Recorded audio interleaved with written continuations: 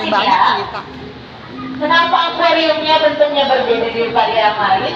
Karena kita menyesuaikan dengan habitat aslinya teman-teman.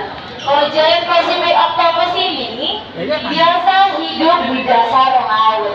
Jadi kita buat demikian rupa seperti habitat aslinya dengan lautnya yang redup, dengan suhu airnya yang dingin, 10 sampai 13 derajat teman-teman.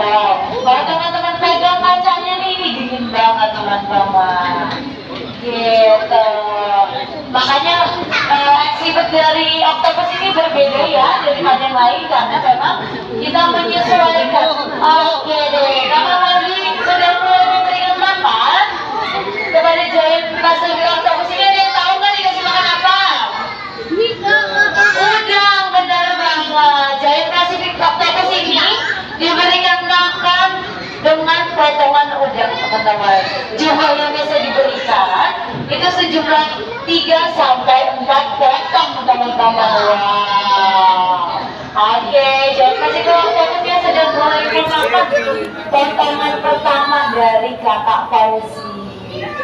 Ngomong-ngomong nih teman-teman, uh, untuk teman-teman yang mau berfoto atau video boleh banget tapi tidak boleh menggunakan flash ya karena jalan Pasifik octopus ini termasuk salah satu hewan yang cukup sangat sensitif jadi itu bisa mengganggu pada saat makan. Dia bisa stres atau nggak mau makan teman-teman karena memang dia terbiasa di habitat yang gelap. Gitu. Jadi dia tidak terbiasa dengan lampu-lampu teman-teman oke.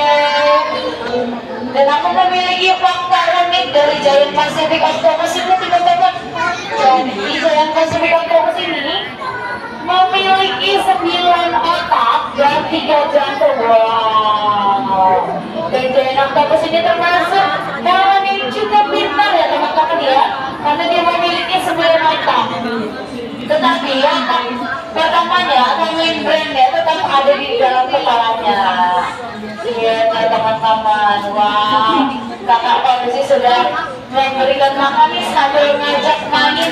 Saya fokus ini termasuk orang yang manja ya. Dia suka dia bermain sama kakak Aquarisnya Dan juga teman-teman Kakak Aquarisnya tuh dia seneng banget ngasih makan juga anak pengerjaan pasir oh, fokus ini dikarenakan dia tuh hafal. Dia tuh hafal sama siapa yang memberikan makan teman-teman. Wah hebat banget ya. Dia bisa tahu siapa yang biasanya memberikan makan. Gitu oke karena Bangsi sedang memberikan potongan kedua kepada Giant Pacific Octopus ini teman-teman. Wow hebat banget ya dan aku juga mau kasih tahu nih Giant Pacific Octopus ini memiliki warna berwarna uh, warna garam berwarna biru teman-teman wow kalau kata orang-orang nimrat berarti ya iya dikatakan uh, Giant Pacific Octopus ini senang hidup uh, di perairan yang kaya akan oksigen.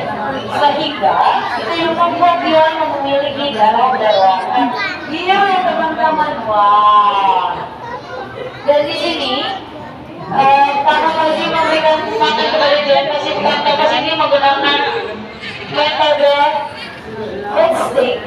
jadi kita Fauzi menaruh makanan di stick itu dan lalu oktopusnya mengambil dari stick itu tangan kanan dan dia langsung suaikan langsung ke dalam mulutnya.